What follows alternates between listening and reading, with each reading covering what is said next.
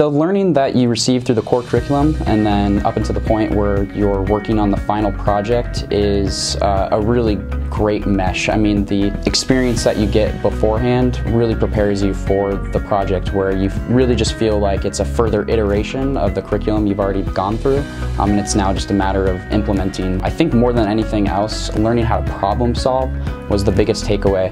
Um, you really get to uh, have an opportunity to systematically approach a problem and be able to feel like uh, any problems that you have afterwards are much uh, easier to sort of get through. It was an awesome opportunity to work for a local company. Um, so it's tough, but it's also, once it's done, um, a really good feeling because it's probably the, the place where you feel like you learn the most and, and after that you have a confidence that, that you really didn't have before.